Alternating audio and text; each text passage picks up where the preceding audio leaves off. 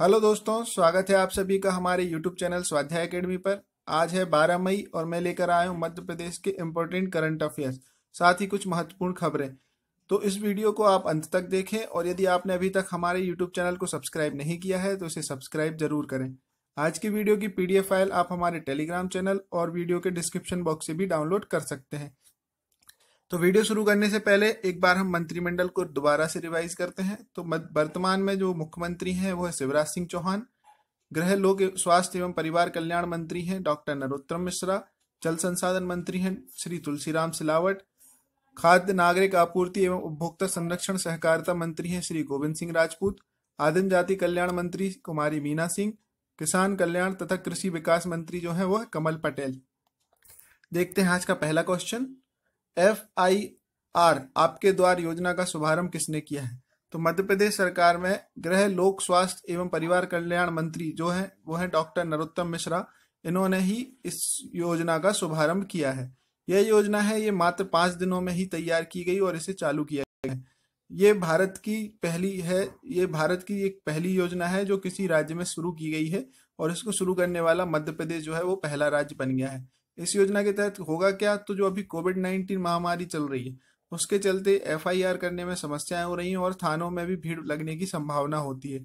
तो इसको कम करने के लिए मध्य प्रदेश पुलिस विभाग के द्वारा ये योजना बनाई गई है कि जिसके तहत कोई भी यदि एफआईआर लिखवाना चाहता है तो उसे सूचना देनी होगी थाने में और थाने से पुलिसकर्मी जाकर के उसके घर पर ही जाकर एफआईआर को नोट करेंगे। तो चलिए देखते हैं अगला क्वेश्चन हाल ही में मध्य प्रदेश की मुख्य निर्वाचन अधिकारी किसे नियुक्त किया गया है? तो हाल ही में मध्य प्रदेश की जो है मुख्य निर्वाचन अधिकारी, वरिष्ठ आईएएस अधिकारी बीरा राणा को प्रदेश का मुख्य निर्वाचन अधिकारी नियुक्त किया गया है। ये वर्ष 1988 बैच की आईएएस अधिकारी तथा प्रदेश के खेल एवं युवा कल्याण विभाग के अतिरिक्त मुख्य सचिव के रूप में कार्यरत रह चुकी हैं। प्रदेश के जो पूर्व मुख्य निर्वाचन अधिकारी थे वी एल कांताराव ये केंद्र की प्रतिनियुक्ति पर चले जाने के बाद से प्रदेश के मुख्य निर्वाचन अधिकारी का पद जो है खाली था और वर्ष 2002 बैच के आईएएस अधिकारी तथा अतिरिक्त मुख्य निर्वाचन अधिकारी अरुण तोमर इस पद पर जो है कार्यभार सीईओ के रूप में संभाल रहे थे। तो अब इन किसको नियुक्त किया गया है? मध्य प्रदेश का मुख्य निर्वाचन अधिकारी तो वो है वीरा राणा। अगला क्वेश्चन है, हाल ही में मोहर सिंह का बानवे साल की उम्र में निधन हो गया है, वे कौन थे? तो मोहर सिंह जो है, ये चंबल के एक डकैत थे, जिनका अभी हाल ही में मध्य प्रदेश के भिंड ज़िले में निधन हो गया है।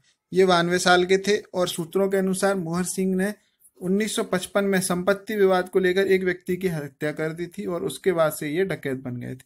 साठ के दशक में इस दस्यु के ऊपर लगभग 315 अपराध दर्ज थे और गिरफ्तारी के समय इनके ऊपर दो लाख रुपए का इनाम घोषित किया गया था।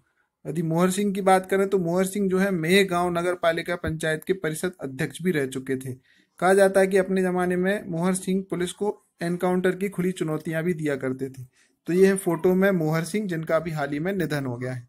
अगला क्वेश्चन है, मध्य प्रदेश के इंदौर शहर के नए निगर, निगम आयुक्त के रूप में किसे नियुक्त किया गया है? तो मध्य प्रदेश के जो इंदौर शहर है, उसके नए निगर, नगर निगम आयुक्त के रूप में श्योपुर की वर्तमान जो कलेक्टर थी, कलेक्टर प्रतिभा पाल को नियुक्त किया गया है। प्रतिभा पाल की नियुक्ति जो है आशीष सिंह की जगह हुई है। वहीं सोमवार, जो उज्जैन के कलेक्टर थे शशांक मिश्रा, उनको हटाकर उनकी जगह आशीष सिंह को कलेक्टर बनाया गया है। और जो शशांक मिश्रा है, वो उन्हें अब मध्य प्रदेश शासन में अपर सचिव नियुक्त किया गया है। अगला क्वेश्चन है, विप्रो के अजीम प्रेम जी ने किसे सहयोग देने का आश्वासन दिया है? तो जो अजीम प्रेम जी हैं, उन्होंने मध्य प्रदेश के सागर ज़िले में स्थित बुंदेलखंड चिकित्सा महाविद्यालय बीएमसी को कोरोना के खिलाफ लड़ाई लड़ने में विप्रो जो है सहयोग देने का आश्वासन दिया है। उन्होंने कोरोना बीमारी का मुकाबला करने के लिए लगभग एक करोड़ रुपए के उपकरण देने का भरोसा दिलाया है। प्रेम जी ने जो सहायता देने का आश्वासन दिया है, उसमें लगभग दस हज़ार पीपीई किट भी शामिल है, ताकि जमीनी स्तर पर कार्य कर रहे स्वास्थ्य कर्मियों को जान का खतरा कम हो सके और वह सुरक्षित रहकर पूर्ण आत्मविश्वास के साथ काम कर सके। तो यह फ़ोटो में अजीम प्रेम जी जिन्होंने हाल ही में सागर के बुंदेलखंड चिकित्सा महाविद्यालय के लिए सहायता राशि देने की घोषणा की है। अगला क्वेश्चन है नैक वैधता अवधि बढ़ाने की मांग किसने की है?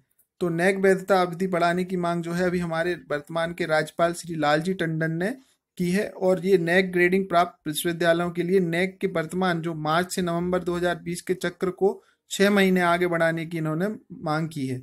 और उन्होंने नैक के संचालन को एक पत्र लिखकर इसमें ग्रेडिंग चेक चक्र की अवधि बढ़ाने के लिए कहा है। पत्र में नैक की वर्तमान वैधता अवधि को भी चक्र के अनुसार बढ़वाने का आग्रह किया गया है। तो बात करें नैक की तो इसका फुल फॉर्म होता है national assessment and accreditation council और ये जो है हमारे यहाँ के विश्वविद्यालयों के लिए एक ग्रेडिंग तैयार करते हैं। अगला क्वेश्चन है, राज्य स्तरीय मॉनिटरिंग समिति का गठन किस, किसके तहत किया गया है? तो जो राज्य स्तरीय मॉनिटरिंग समिति है, इसका गठन प्रधानमंत्री अन्नदाता आय संरक्षण अभियान के तहत प्राइम सपोर्ट स्कीम में मुख्य सचिव की अध्यक्षता में किया गया है।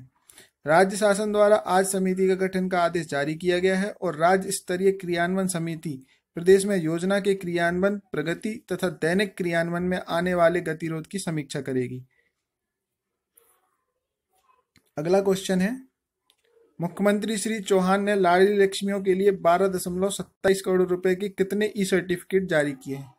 तो हाल ही में मुख्यमंत्री श्री शिवराज सिंह चौहान ने अंतर्राष्ट्रीय महिला दिवस के अवसर पर लाड़ी लक्ष्मी योजना के अंतर्गत एक हज़ार चालीस प्रकरणों में बारह दशमलव सत्ताईस करोड़ रुपए की राशि ई सर्टिफिकेट के द्वारा जारी की है। तो दस, एक हज़ार चालीस प्रकरणों के लिए बारह दशमलव सत्ताईस करोड़ रुपए की राशि जारी की गई है। बात करें अगले क्वेश्चन की तो मातृत्व वंदना योजना में हितग्राहियों को कितने लाख रुपए की राशि जारी की जाएगी?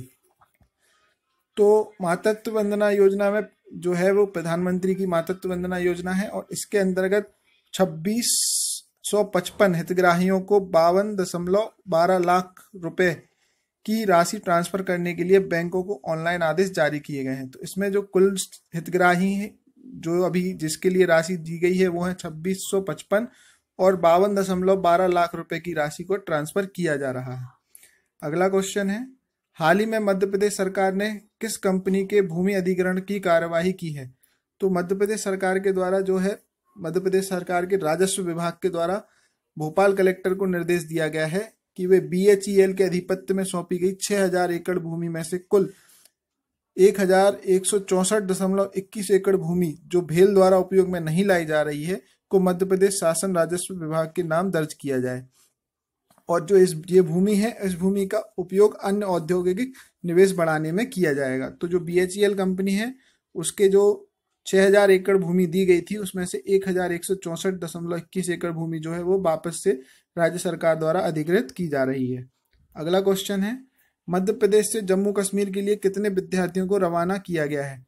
तो हाल ही में मध्य प्रदेश से विभिन्न मध्य प्रदेश के जो विभिन्न ज़िले हैं उनमें अध्ययनरत जो जम्मू कश्मीर के चार सौ अट्ठावन विद्यार्थी हैं उनको आज बसों के माध्यम से जम्मू कश्मीर के लिए रवाना किया जा चुका है।